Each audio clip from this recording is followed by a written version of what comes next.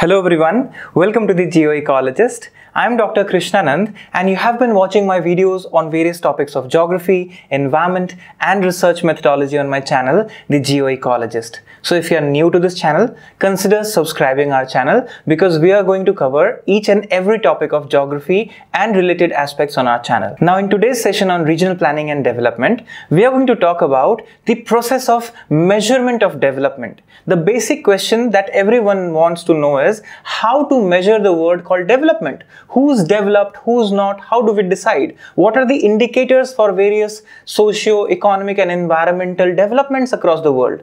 So in today's session, let's discuss all these points. But before we go ahead, don't forget to subscribe to our channel and also do share the videos with others as well.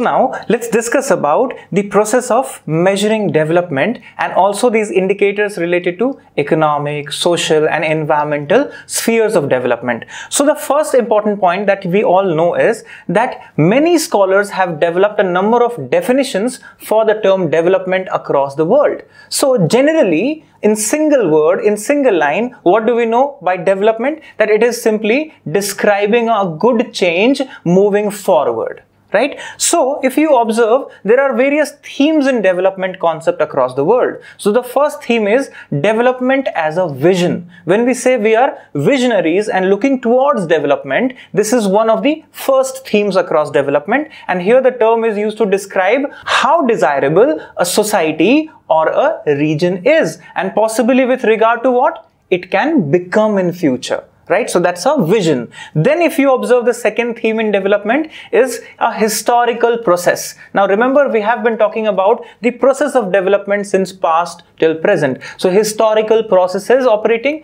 so refers to social change, economic change over time periods due to many processes that happened, many things that changed the world. So here if you observe communism, capitalism and several isms that we talk about in this kind of development theme and then there is the third kind of development theme in which we study many things like development as an action. Now this is practical ways of development, pragmatic way of development which is action oriented. So if you observe it refers to deliberate action in order to do what? To bring a change in the things for betterment. For example, poverty alleviation programs, improving hunger, education, and all those things that we talk about. And remember, to talk about these things, we already have an agenda and that is what we know as Agenda 2030 Sustainable Development Goals. So if you observe these Sustainable Development Goals, these are based on action plans of development. That what do we need to do? So we need to cover these 17 goals and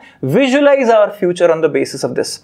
So if you look into the various indicators of this economic, social and environmental development, we'll find that why do we need these indicator and what is the role of these indicator. So the first important thing that we need to understand is that these indicators are important in order to not be misguided, not be misleaded. Why? Because if you observe, measuring development can be very misleading at times. Who's developed, who's not, the definitions. So, because wealth of a country might not be shared out equally. So hence, if you see only having wealth, remember the distribution of wealth also matters. So that could be somewhere misleading as well.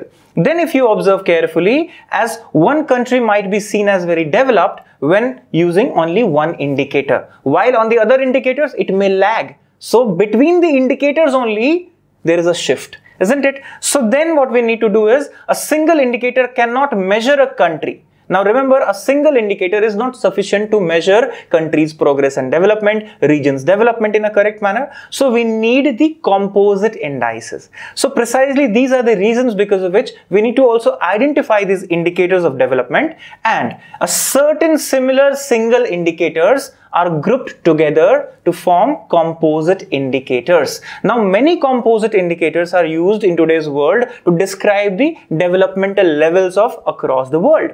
So development indicators are numerical measure of the quality of life in a country. Now remember, mostly they are about quality of life, but they are numerical measure we rank them, we order them, we take in percentages, right? So that's where we talk about quantity and quality both. Now, indicators that are used to illustrate this progress is understood in these headings economic social environmental right so if you observe carefully one of the examples of these composite indicators is HDI, Human Development Index. I'm sure you have learnt about it. It's already covered in the videos and models and theories as well. And also if you look into perspectives in human geography. So Human Development Index is what? Primarily the indicators if you observe life expectancy at birth, adult literacy, gross enrollment ratio, GDP per capita, and then we combine them and gradually develop HDI. So this is a composite index we say. Not a single indicator talks about the entire country. So now let's look into one by one economic, social and environmental indicators. So economic development indicators if you observe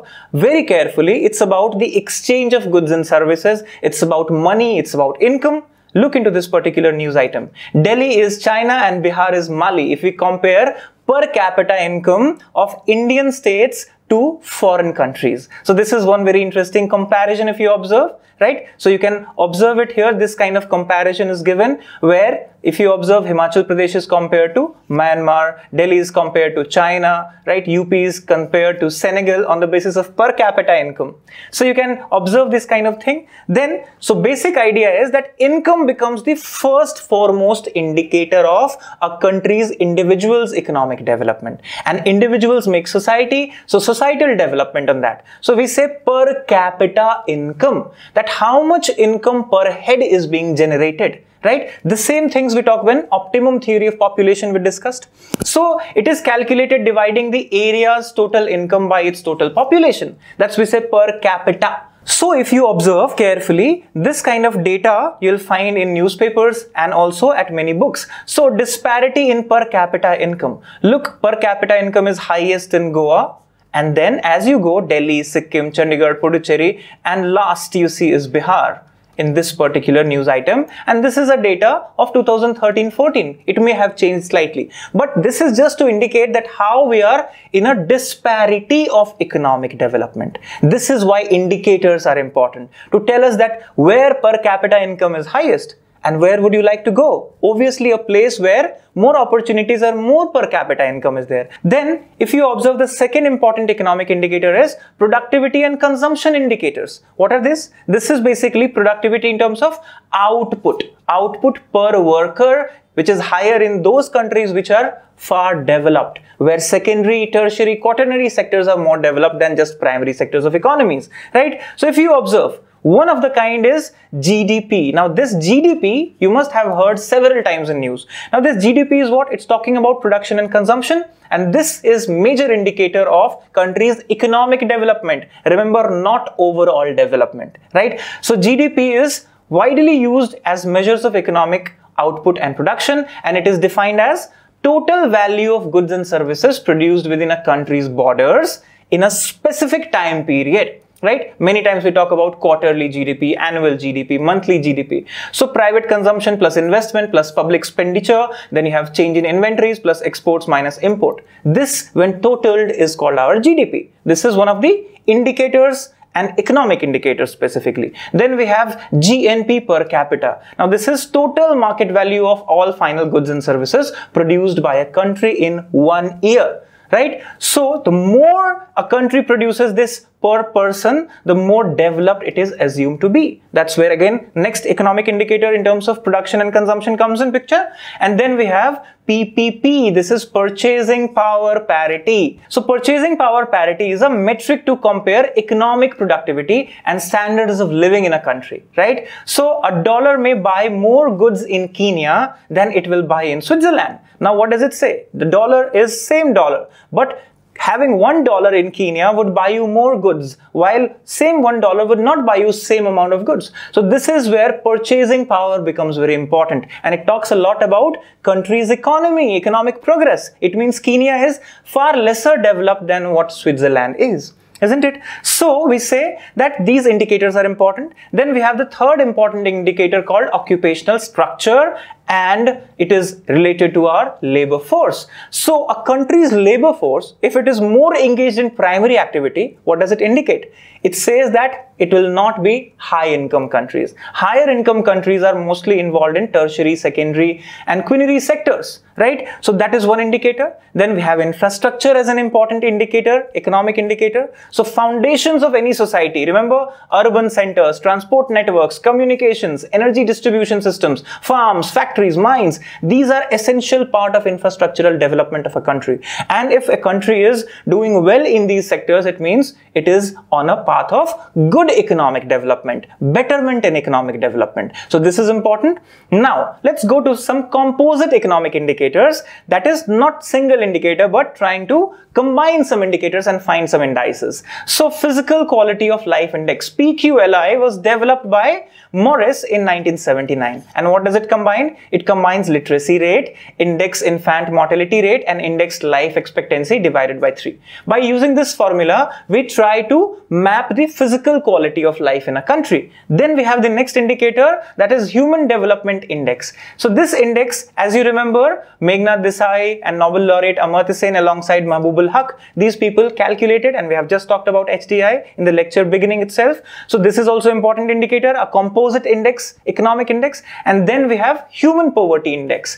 Now this HPI is also devised by United Nations and it's very important in order to understand that what is the poverty levels of a country right? In terms of survival, knowledge and decent standard of living. Then what we have is another composite index which is quality of life index. So this is physical quality and this is overall quality of life index. And remember Ferrans and Powers established it in 1984 and this is in terms of satisfaction of the quality of life. So these are certain important economic indices combining economic indicators which we know. Then let's venture into social development indicators. And when we say social, it means people and their interaction, society, right? So we talk about education as one of the major indicators. Then we talk about literacy rate under education and gross enrollment ratio. So these two things are the major things inside education when we say social development indicators. A country with good literacy rate, gross enrollment ratio obviously adds to better educational qualifications. And also education is not just about formal education but informal education as well. Now when we look into health sector becomes one of the major social indicators. So remember WHO, it talks about physical, mental, social parameters of health and remember health covers a wide range of activities. What are these wide ranges? Look into this. Population control, family planning, drug control, prevention of food adulterations, immunization, removal of major communicable and non-communicable diseases. These indicate that how good a country is in terms of health indicators. Then what we observe is certain more health indicators here like life expectancy at birth, maternal mortality ratio MMR, then you have infant mortality ratios. So if you observe carefully, these health indicators talk a lot about the health of children, women, aged people. So this is important health indicator, part of social indicator in terms of development. Now let's venture into environmental development indicators. So look into this. Total forest cover of our country is 21.71% of geographical area and tree cover is 2.91%. Combining the total, we get 24.62% in 2022. And what is our objective? Our objective is to attain 33%, right? According to National Forest Policy. So forest cover is very important. Then what we talk about is richness and biodiversity, energy production and consumption, and most important in today's world, pollution levels as major indicator of environmental condition in a country. So pollution levels of air, soil, water, and now we are also talking about marine pollution right? So these are certain aspects where environmental development indicators are there. Now, why it is important? More concern in today's world because of this composite index that we have created of environment, right? So what are these? Environmental performance index. And if you're aware, India was ranked last in 2022 rankings of EPI. And remember, EPI was first published in 2002 and Environmental Sustainability Index is another index which is important, published since 1999 to 2005. It also talks about environmental law and policy. And then Look at EPI in today's condition. India's score was 18.9 and it is ranked the last. It scored 12.5 on health, which means poor air quality, poor drinking water, poor sanitation. And remember, these are important indicators of social as well. So you see socio-economic and environmental indicators are interlinked together. So if you observe rank of other countries in EPI, neighboring countries of India, scored slightly better. Pakistan has 176th rank, Bangladesh 177th rank, which is 2-3 ranks better than India. Then if you observe, how was the report prepared? Many people questioned that the report would have been fabricated. But this report has been accepted by many countries of the world say 180 countries ranking. So if you observe, it is prepared and scored and ranked in 2022 based on environmental performance and uses available data from recent year. Now if you observe that who is involved in analysis of this performance, so researchers at Columbia University and Earth Institute of Yale, they are involved in computing this particular data.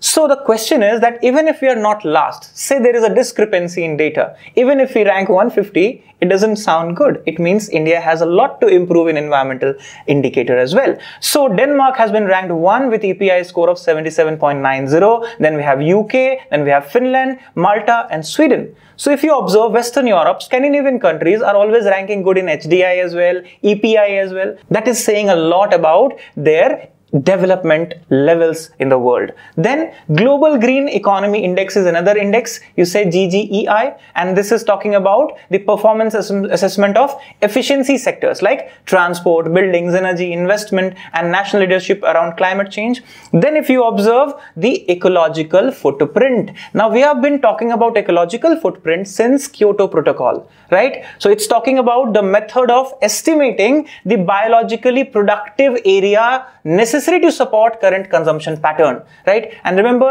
whatever we do, whatever we consume in everyday life has a footprint on environment. So if it is reduced in terms of need, then we'll have lesser footprint. So land for energy supply, food, forest products and built environment, degraded areas, sea space for fishing. These are the indicators that we use while computing ecological footprint. And you can observe the same in this particular diagram here. So ecological footprint energy housing lumber sustenance fisheries. These are major indicators in today's world that generally we use to compute this particular ecological footprint and which is very important for understanding the levels of development across the world in terms of environment. So now, when we have discussed the various aspects of measuring development, various indicators of development, in the sessions to come, we'll be also talking more on other aspects of regional planning and development. So stay tuned, stay safe, keep watching and learning, and don't forget to join our channel as a member in order to get replies to your queries. So all the best wishes, take care.